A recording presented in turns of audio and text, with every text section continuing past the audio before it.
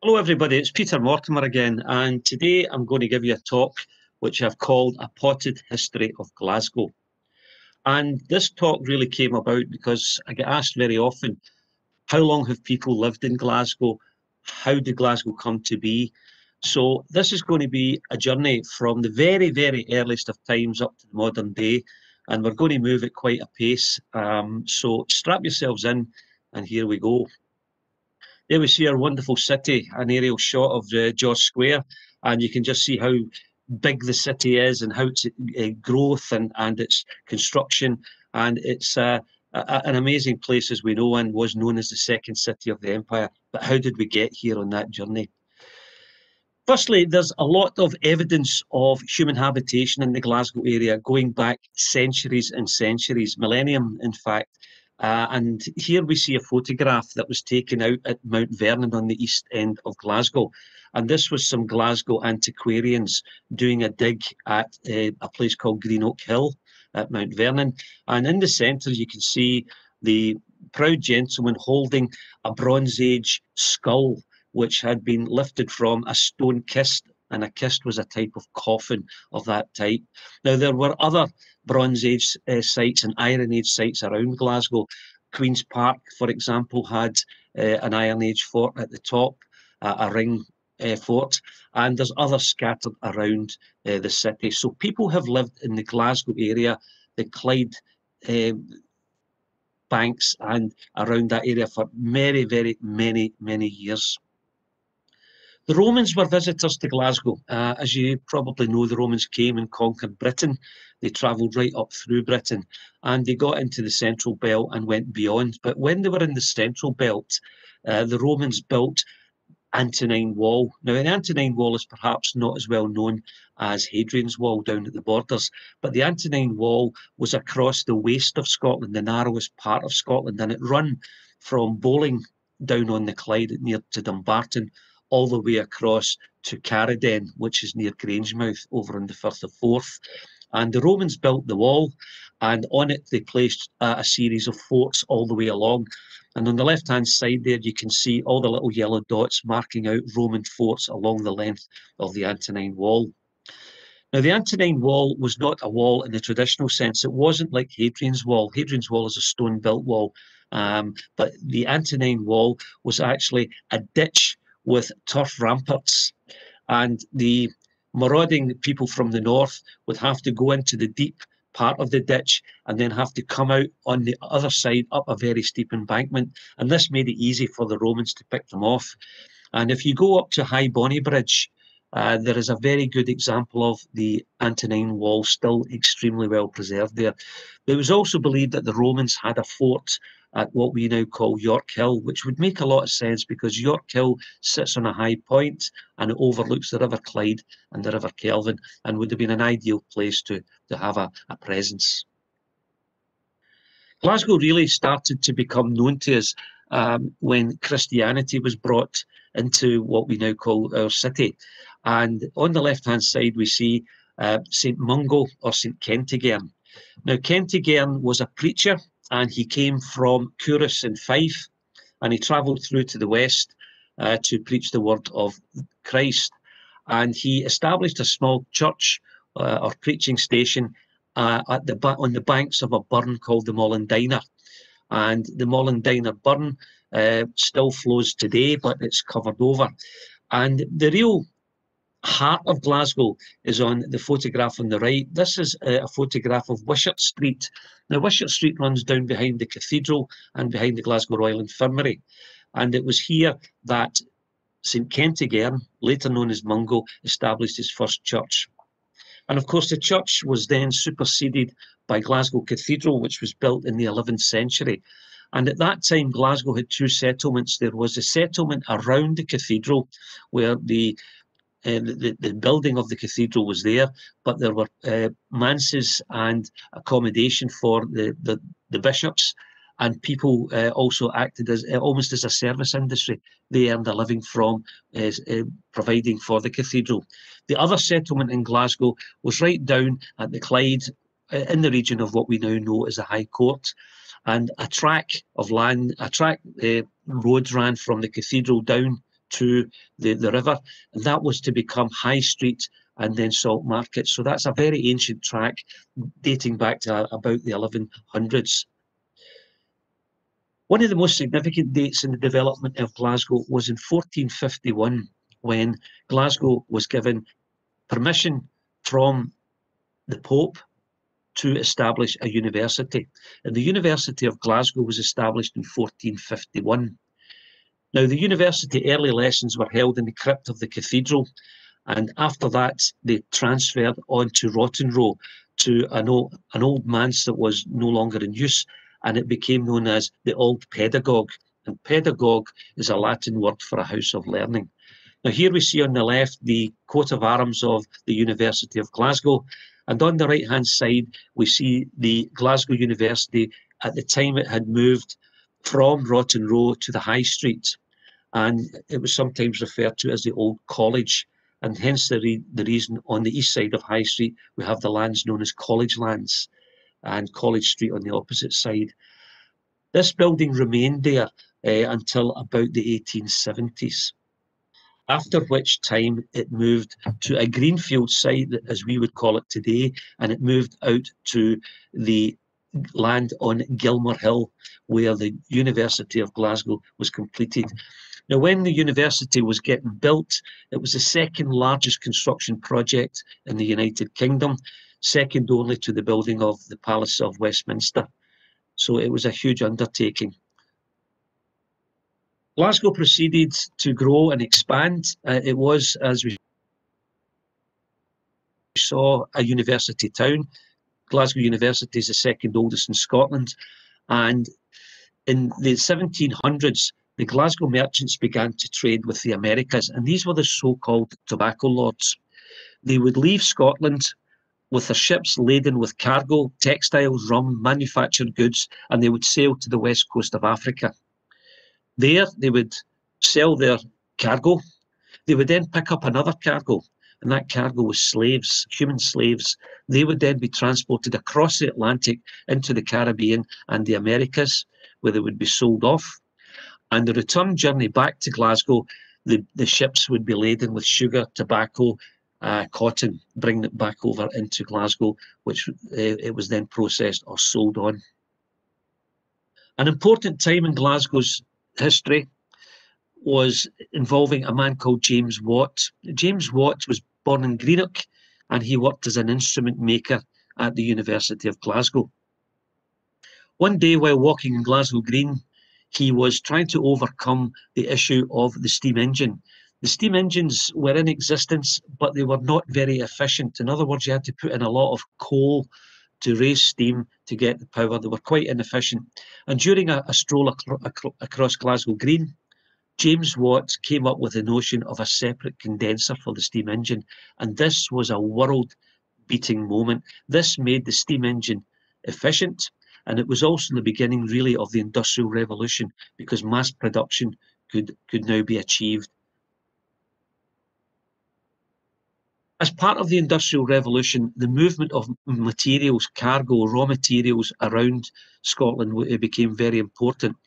And if ships and cargoes sailed into the west coast of Scotland, to transport it to the east would either be across land or ships would have to go round the, very top of Scotland, which was a, an arduous and sometimes dangerous journey. So in the late 18th century, it was a canal was built between uh, the Clyde and the River Forth. It ran uh, very similar in, in, in uh, its lineage to the Antonine Wall. It ran from Bowling down on the Clyde through to Grangemouth. And this was the motorway of the day. This was the M8 back uh, in the 18th century. And it, the terminus in Glasgow was up at Port Dundas, and some many of the buildings still exist there. They were used as warehouses, but now they've been converted into modern housing. The, the first major industry that really took grip in Glasgow in an industrial sense was cotton. The raw cotton was imported from the United States and it came into Glasgow. And in the early 1820s, 1830s, Glasgow had a, in excess of 100 cotton mills. Uh, now, the cotton mills were able to take over from the handloom, And you see the little cartoon on the left, and that's a handloom where all the work was done as it as it suggests by hand, passing it through. The shuttles were passed through, uh, and the cloth was woven. Bring in power looms, which were powered by steam, thanks to James Watts and his condenser, and all of a sudden you were producing on an industrial scale. And there we see a photograph on the right of a cotton mill, and you can see how young the, the, the young girl is in, in the photograph. Uh, many of the cotton mills were uh, used used young female labour uh, as as their workforce. Here we see a couple of examples of existing cotton mills in Glasgow. The first one on the left is the oldest, the older of the two, and this, and this is on David Street down off Gallowgate. The first of the two, and this is on the island, and you can see the weaving daylight shaped roof. That was a little cotton mill that, that existed in Mile End. It, uh, purposes. And on the right hand side, you see a really grand cotton mill. And this was built in 1849 for Alexanders, who were uh, cotton mill owners. And this remained as a cotton mill through till about 1908, when it was then converted to become the Great Eastern Hotel, which some of you may recognise. And we're looking down John Knox Street uh, onto Duke Street at, at the cotton mill in Glasgow boomed and became a real industrial powerhouse uh, through iron and steel. And one of the major industries in, in Glasgow at that time was shipbuilding. it was growing and it was becoming a very important part of the Glasgow economy. And here we see just one example. Uh, here we see the Fairfield shipping shipyard down at Govan, and on the left we see a boat getting launched, and on the right we see the entrance, which is still there, uh, of the workers piling out at the end of the, the day, going going back home. And shipyards employed large numbers of people directly and equally large numbers of people indirectly. And by that, that was all the, the companies that were making boilers and, and doing carpentry, uh, all sorts of stuff. So the, the, the shipbuilding industry was a major driver in Glasgow becoming uh, such an important place. And at one time, 18% of all the world's ships were built on the Clyde. Now that's one in five ships almost that sailed the seas was built in the Clyde. And considering the number of uh, rivers all over the world that are, are making ships at that time, that was an incredible achievement. Absolutely incredible. The iron and steel was also led to big foundries and forges, and none more so, I suppose, than the Beardmore Forge at Parkhead. And you see the photograph on the left there uh, of Beardmore's Forge in the foreground and the split of the road of Duke Street and Shettleston Road. Uh, Parkhead Forge was built in 1837 and the Beardmore family acquired it in 1861 and Be William Beardmore Jr. really grew the business to an enormous extent.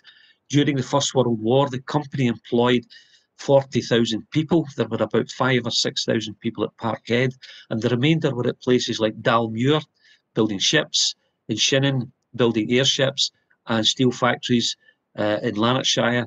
They made cars down in uh, Dumfries. It was a mar- mar- absolutely marvellous concern, uh, huge, and uh, they employed 40,000 people, as I say, and they were paying out 125,000 pounds per week in wages. And on the right, you see one of the, the, the, the, engineering shops at Parkhead, and it's making armaments. That was a big, big part of Beardmore's uh, business. We had Sir William Arrol and Company down at the Dalmarnock Iron Works in Bridgeton, and they, of course, were the people who fabricated all the steel for the Forth Rail Bridge, which was made in Bridgeton, transported to North and South Queensferry, and linked one side of the River Forth to the other, and is a World Heritage Site.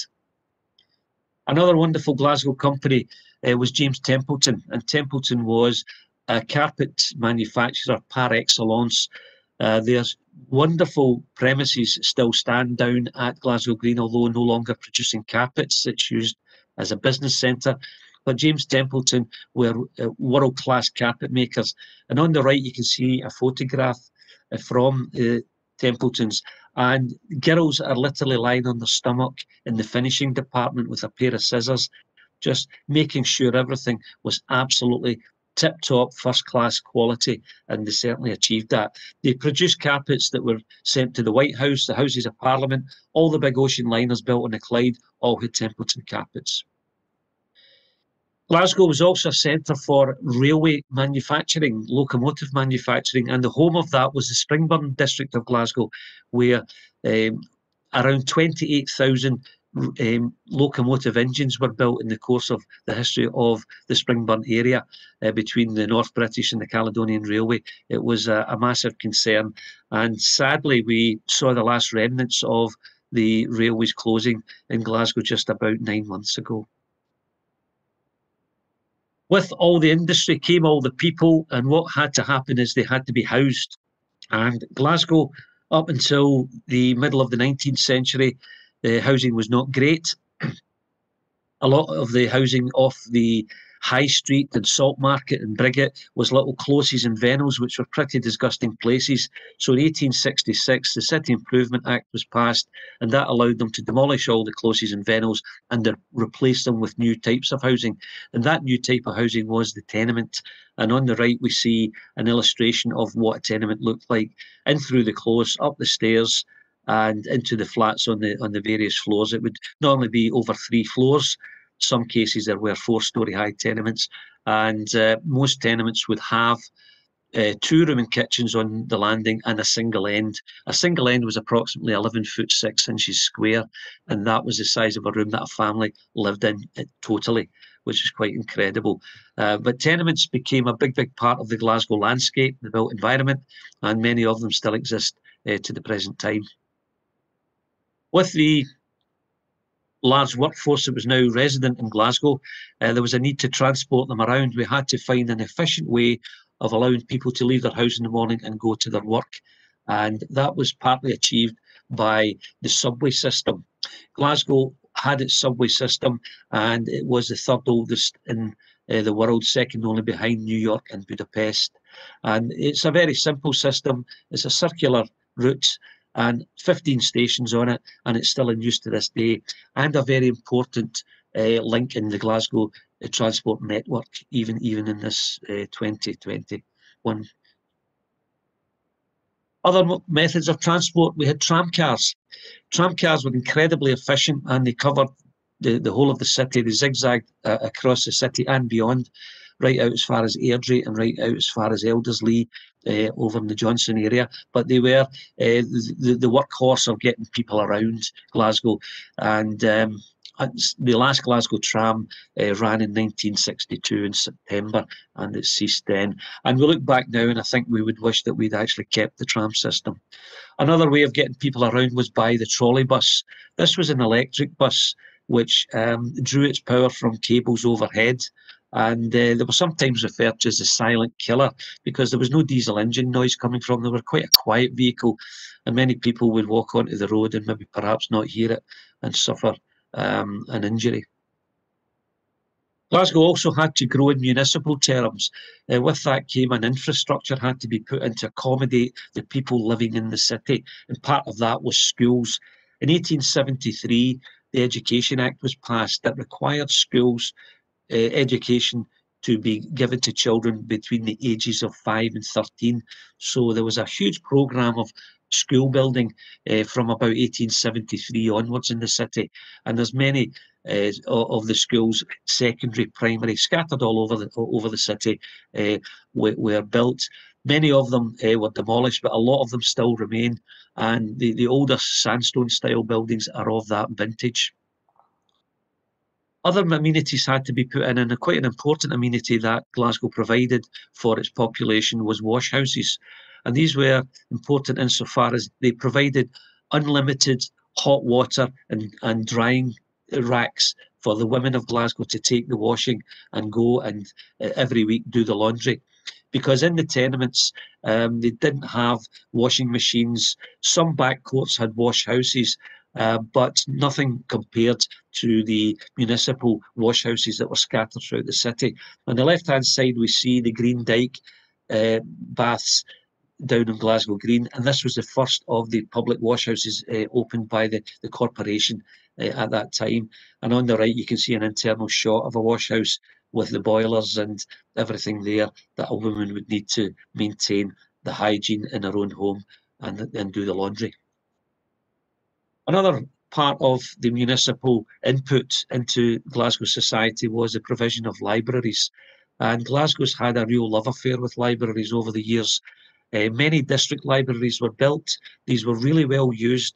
Many of the original buildings still exist. The one on the left, for example, is Parkhead Library, and that's still uh, with us today. This was one of the so-called Carnegie libraries.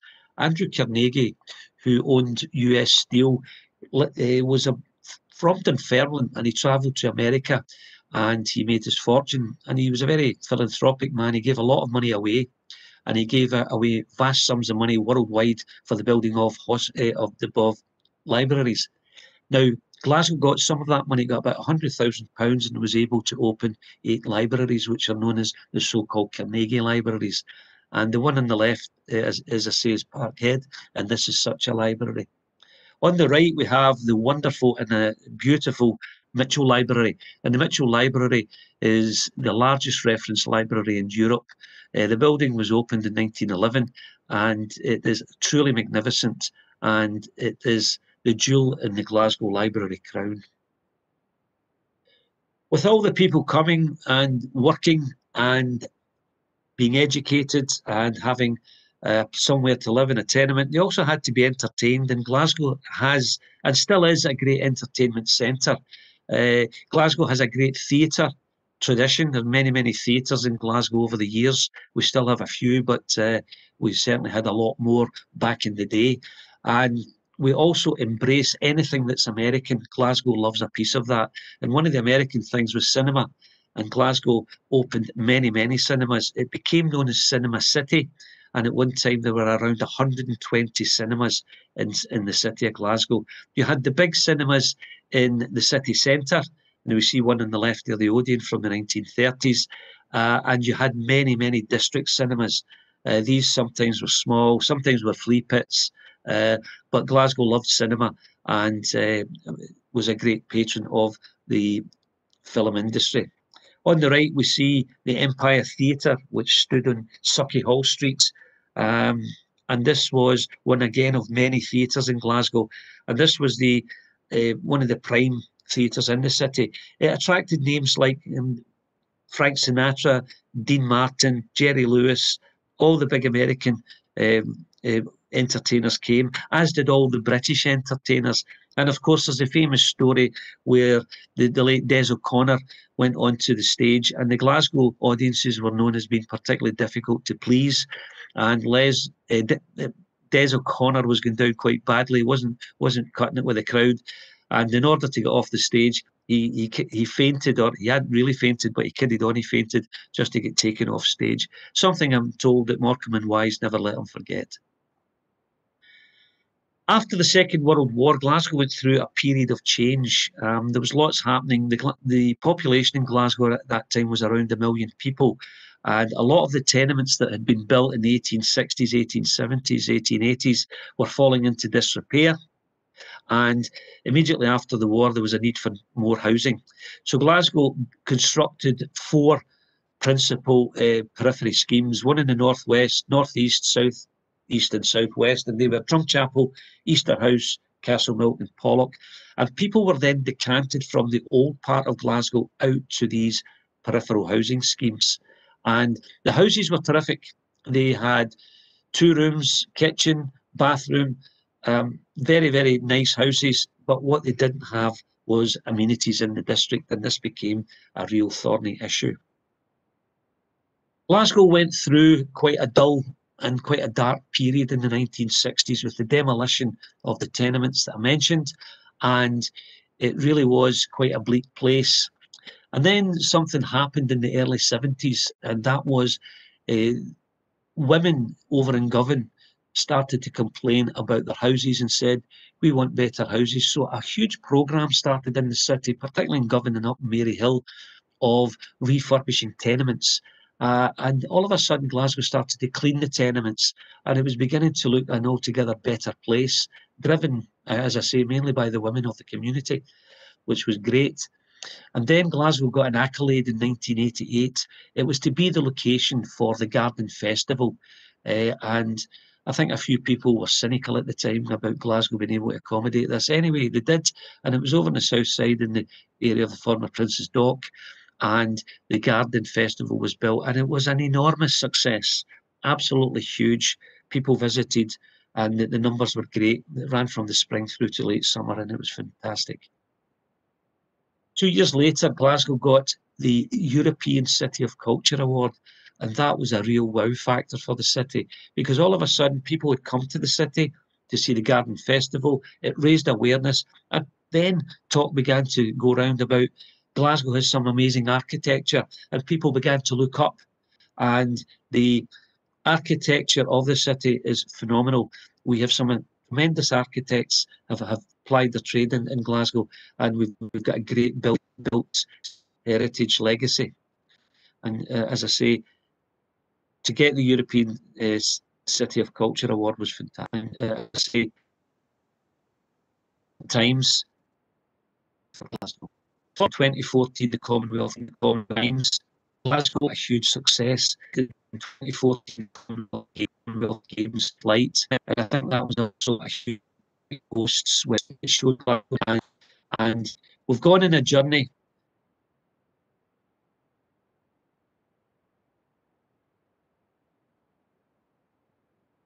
very quick journey through Glasgow's history, but I hope you've enjoyed it. Thank you very much.